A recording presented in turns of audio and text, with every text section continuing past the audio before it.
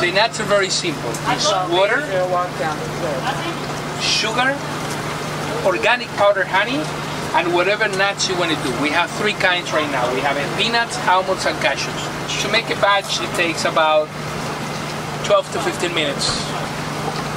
The peanuts come from Georgia, the almonds come from California, and the cashews either come from Brazil, India, or uh, sometimes could be Africa. If you haven't tried it, just do it. It's worth it. And if you've done it, just keep doing it because it's worth it. I mean, it's a, it's a product that will give you a lot of satisfaction. And once they get addicted with these honey roasted nuts, it's very hard to get away. okay.